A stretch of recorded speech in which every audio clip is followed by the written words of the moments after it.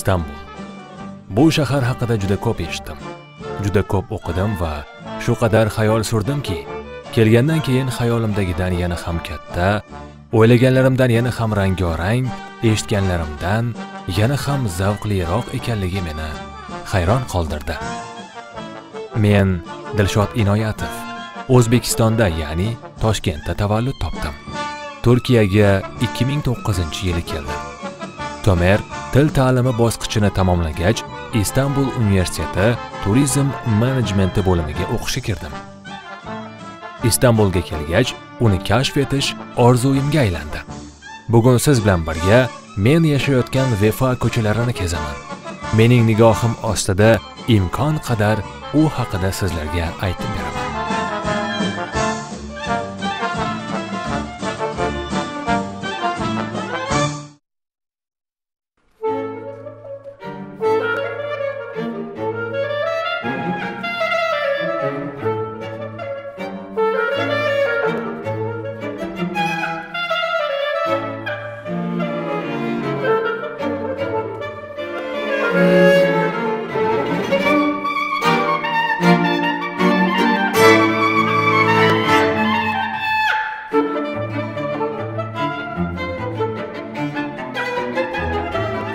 Bo'zdo'an peshtoqi.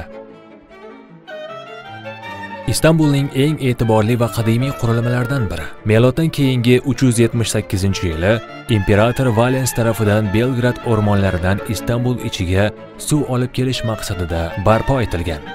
Valens kemeri ya'ni peshtoqi sifatida tanilgan bu peshtoq davr mobaynida zilzilalar oqibatida vayron bo'lgan.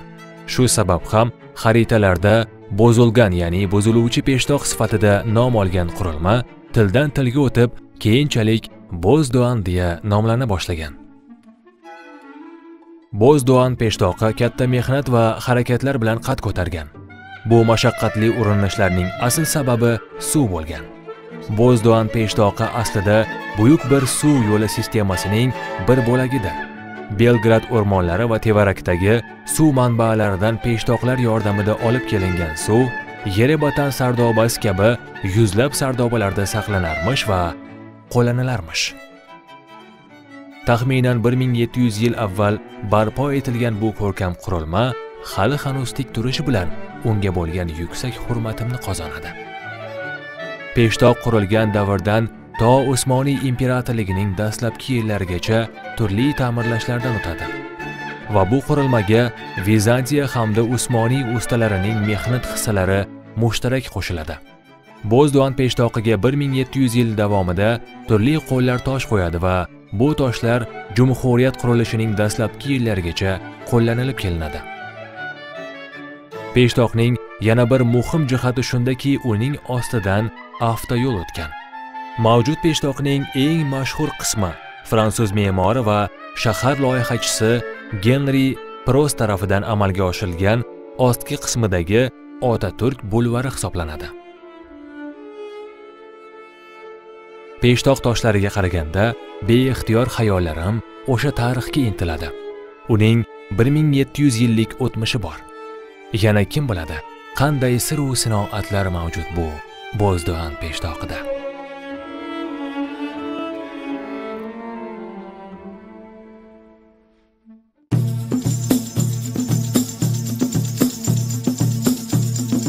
Telba edik devona bo'ldik parvona edik otash bo'ldik yo'q edik bor bo'ldik.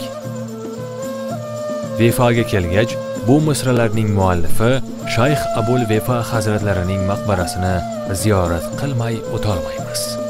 Fotih sulton mehmedxon davrida yashagan bu islom bilimdoni istanbulga qo'shgan yorqin hissalari qatori uning mavzeida ismini qoldirgan. Asl ismi muzlihiddin mustafa bo'lgan shayx abul vefa koniyada tug'ilgan va ilm orttirish maqsadida shaharlar kezgan.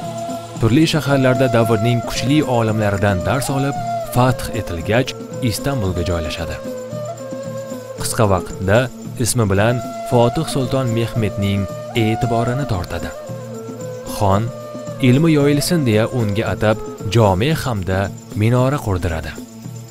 Fotih uning ilm quvvati haqida eshitib xalq orasida ko'ngillar podshohi deya tilga olinayotgan va unga atab minora qurdirgan shayx abul vifani ziyorat qilishni istaydi. Yonida bir yordamchisi bilan bir podshoh emas balki bir darvesh sifatida shayx abul vifaning eshigiga keladi. Podshohni qabul qilishni kutilarkan shayx mazam yo'q qabul qila olmayman deya javob beradi. Fotih sulton mehmedxon ortiga qaraydi. Va istanbulning oshib bo'lmas devorlarini oshib uni fath etgan xon bir ko'ngillar podshohining eshigidan nari o'ta olmadi deya mahzun ortiga qaytadi. Shayx talabalari esa hayron va ustozning javobini kutishadi. Shayx ko'zlari esa yoshga to'ladi. Talabalardan biri bunga chidolmay ustoz yig'layapsiz. Nega unda sultonni qabul qilmadingiz? der. Shayx abul vifo boshini ko'tarib charaqlayotgan ko'zlari bilan qarab shunday deydi. Podshohimiz ko'ngil podshohligining jozibasiga maftun bo'lib davlatni esdan chiqarishdan qo'rqdim. Bu yerdagi suhbatdan zavq olib podshohligini unutib qo'yishi va usmoniy davlati qiyinchilikka tushib qolishi meni qo'rqitdi deydi. Qadrdonlarim hamma o'zining vazifasini qilishi kerak. Bu dunyoda ko'ngil podshohi kabi jahon podshohi ham kerak. Haq do'sti va ko'ngillarning podshohi shayx abul vefa hazratlarining hamda xalifalarning mozor sandiqlari ham jome hovlisidagi maqbara ham bir qatorda joylashgan. Ziyoratim namoz vaqtiga to'g'ri kelgani uchun jomening ichiga kira olmasam ham yuksak mamnuniyat bilan yo'limda davom etaman.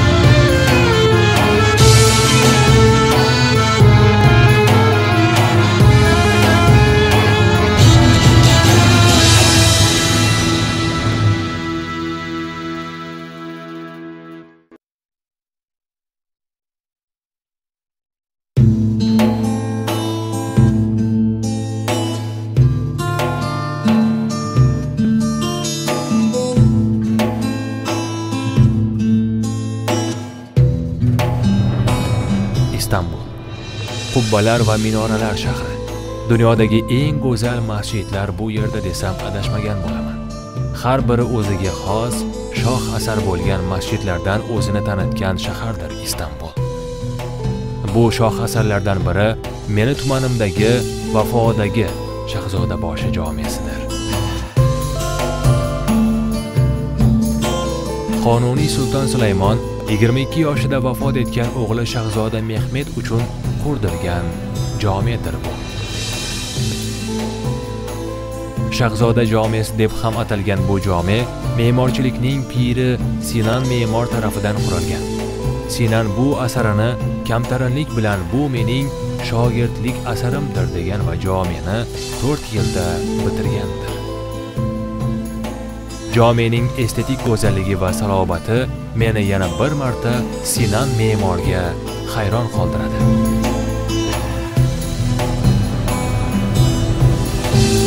Hozir juma namozi vaqti. Qanchadan qancha ulug' shaxslar namoz o'qigan bu huzurli makonda hozir men ham juma namozini o'qiyman.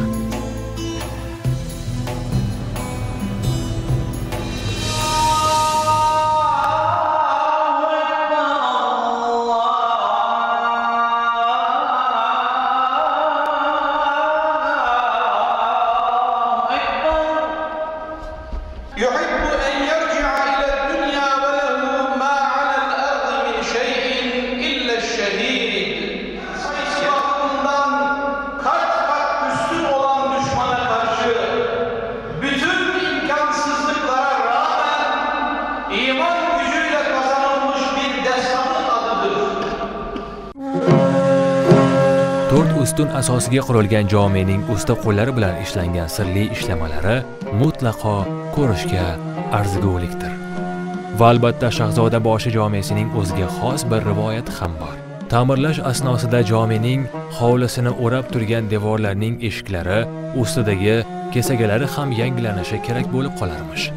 Me'mor va muhandislardan tashkil topgan ta'mirlash guruhi uzoq tortishmalardan keyin eshik kesagasini bo'lak bo'lak qilib olib qanday qilib qurilganini ko'rib so'ngra ularni birlashtirishga qaror berishadi. Bo'laklashni eshikning kesagasidan boshlaydilar.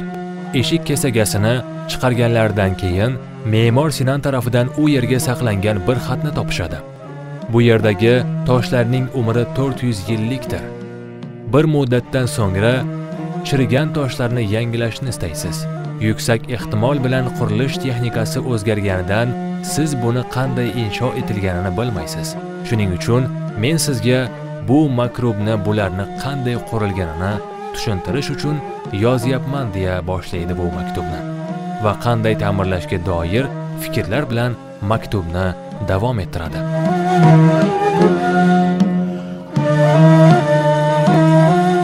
Avliyo chalabiyning rivoyat qilishiga ko'ra qonuniy sulton sulaymon sinan me'mordan istanbulning qoq o'rta yerini aniqlashini istaydi. U yillarda istanbul faqatgina qal'a devorlaridan iborat emish. Buyuk me'mor hisoblarining orqasidan istanbulning qoq o'rtasini topibdi va u yerga yashil granit toshidan bo'lgan bir ustunni qo'yibdi.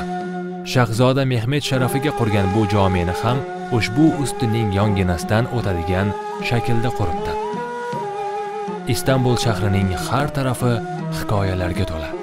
Kim bilar qarshimizga yana qancha narsalar chiqadi.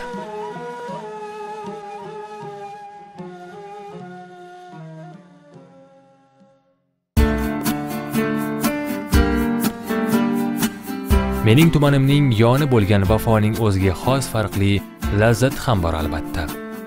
Bo'zadir buning oti. Bo'za tanalgan ichimlik bo'lishiga qaramay 1876 yilda hoji sodiq bey tarafidan vafoda ochilgan va hali ham o'sha binoda uzluksiz xizmat ko'rsatgan bo'zachi sababi bilan vafo ismida qo'llanilishi boshlanadi. Bu go'zal lazzat albatta tatib ko'rilishi kerak. O'ziga xos ta'mi bor bo'zaning. Farqli va lazzatli. Bo'za bug'doy uni suv va shakardan iboratdir. A b c hamda e vitaminiga egamish. Yanchish asnosida sut kislotasi chiqqanligi uchun ham hazm qilish jarayonini qulaylashtiradi. Vafo bo'zachisi 140 yildir istanbulga oshnolik qiladi.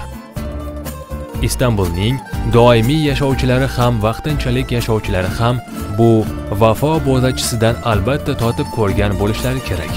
Bu vafo bo'zasidan albatta totib ko'rgan bo'lishlari kerak. Turkiya jumhuriyatining quruvchisi bo'lgan otaturkning 1937 yilda bo'za ichgan idishi hali hanuz saqlanmoqda.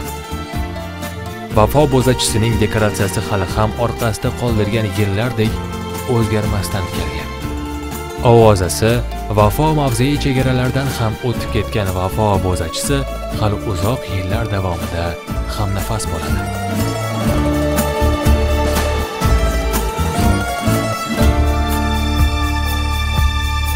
Tarih sayfalarına baktığımızda 8-9 bin yıllık geçmişi olan Orta Asya Türklerinin o önemli, o muhteşem kavimler tarafından Kafkaslar üzerinden Özbekistan, Türkmenistan bu yöreleri de içine alarak Balkanlara kadar çizdiği çok büyük bir coğrafyanın e, ana gıda maddesi olarak tanımlayabiliriz.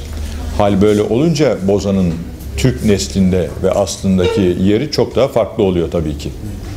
Neden Vefa semti deyince 1876 yılında e, o şaşalı Ramazan eğlencelerinin yaşandığı, kanto tiyatrolarının oynadığı, Şehzadebaşı direkler arası tiyatrolarının en üst seviyede olduğu bir devirde tabii ki Vefa semti de İstanbul'un en muhtena semtlerinden bir tanesi.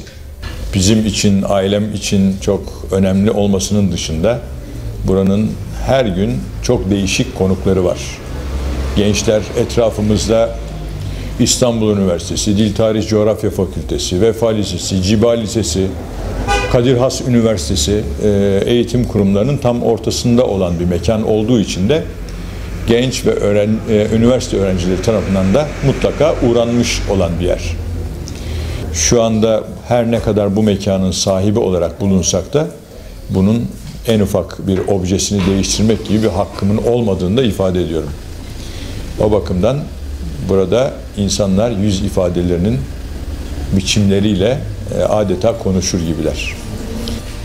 Ben dördüncü nesil bir torun olarak e, müesseseyi idame ettiriyorum. E, inşallah bizden sonrakiler de devam edecekler. Ben de bu yandaki evde doğdum. İlk yürümeye başlayıp da yürüdüğüm yer bu dükkanın tezgahıdır. E, benim için de çok farklı bir anlam ifade ediyor tabii ki. E, babamı, dedemi, babaannemi tanıyan bir torun olarak inşallah onların da yukarıdan gördüklerini umuyorum. İnşallah daha nice yüz, yüz seneler diliyorum.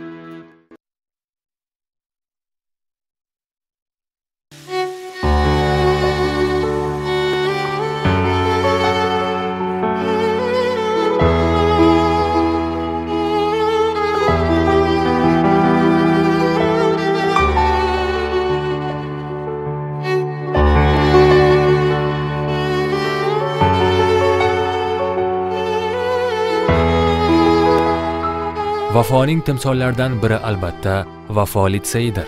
1872 yilda ta'lim berishni boshlagan bu litsey Usmoniylar imperatorligida ilk turkcha ta'lim va tarbiyani davom ettirgan litseydir. Bolqon urushi yillarida o'quvchi va o'qituvchilarning o'z ixtiyorlariga ko'ra urushga qatnashish uchun ketishlari sabab ta'lim vaqtinchalik to'xtatiladi. Turkiya tarixida tanalgan ismlarning ko'pchiligi ham Vafo litseyi bilan bog'liqdir. Masalan, Davlat madhiyasi matni muallifi Mehmet Akif Ersoy, Turkiya Jumhuriyatining ilk maorif vaziri Hasan Ali Yujal, mohir aktyor Mujdat Gezen, rahmatli Kamol Sunal va jurnalist Uğur Dundar ham bu litseyning eng oldidagi ismlardan birlaridir. 140 yillik tarixiga ega bo'lgan Vafo litseyi erishgan muvaffaqiyatlari va ta'lim sifati bilan birgalikda dong'ini yoyishda davom etmoqda.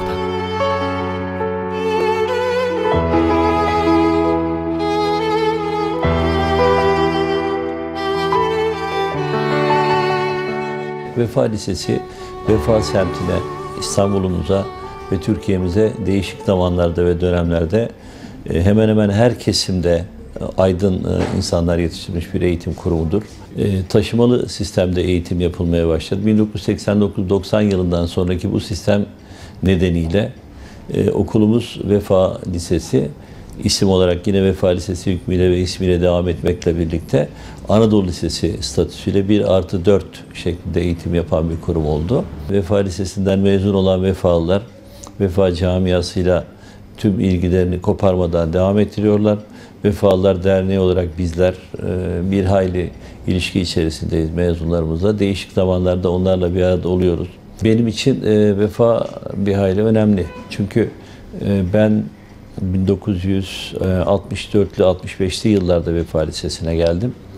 E, mezuniyetten sonra da Vefa Lisesi'nde çalışmalarımı sürdürdüm. Çünkü e, burada yatılı okuduktan sonraki dönemde üniversiteyi kazandığımda etüt abiyi olarak da burada istihdam ettim ve kaldım. Yani buradaki ilişkiler, e, insan ilişkileri e, çok gerçekten insani anlamda ve ileri düzeydedir. Bütün arkadaşlarımızla zaman zaman Vefa Lisesi'nde veya değişik ortamlarda toplansak bile ee, yani vefa bize göre çok farklı bir konumda. Vefa her zaman öncelikli olmuştur. Ee, çünkü insanların lise hayatı, insanların özellikle gençlere dikkat ettiğinizde lise hayatı daha e, düzgün duyguların oluştuğu, insanların daha e, saf duygularla yaşadığı bir dönemdir. O dönemdeki arkadaşlıklar üniversite veya üniversite sonraki iş hayatındaki arkadaşlıklarla bir hayli ayrı. O nedenle tabii onun da etkisiyle ben e, gençlerde de görebiliyorum bunu. Lise arkadaşlıkları çok daha e, unutulmaz, çok daha güzel anlarla dolu arkadaşlar. O anlamda ben hala Vefa Lisesi'nde bunu yaşıyorum.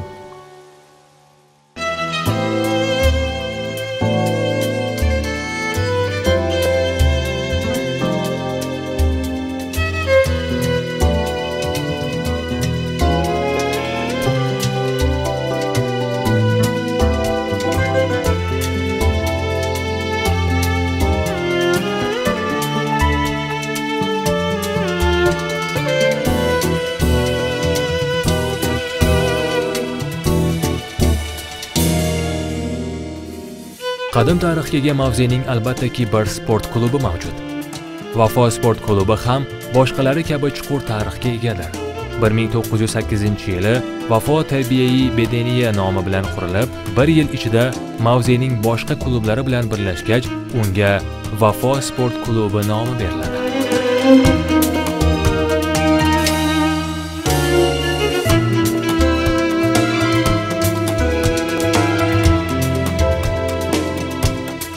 Qurilgan yillardan boshlab turli yutuqlarni qo'lga kiritadi va dastlabki rasmiy ligada 3-o'rinni egallagan Vafo sport klubi o'zgaruvchan faoliyati bilan ishni davom ettiradi.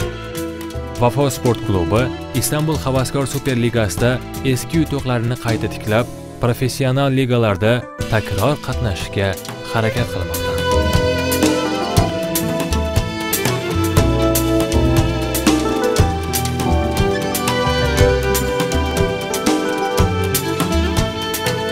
Uchta kattalardan so'ngra birinchi ligada eng ko'p matchga qatnashgan Vefa sport klubi bugungi kunlarda industriya holatiga kelgan futbol olamida iqtisodiy shartlar sabab qiyinchiliklarni boshdan kechirmoqda.